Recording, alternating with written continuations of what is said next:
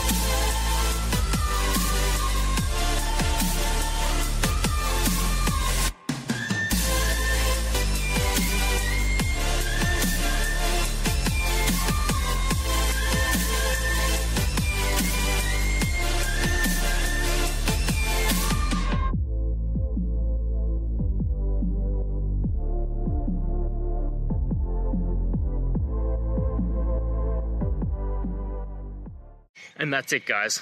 I hope that video helped find the resolution you're looking for. If it did, please, I'd appreciate it if you could hit subscribe. Until the next time you need more technical help, I hope you have a good one. Cheers.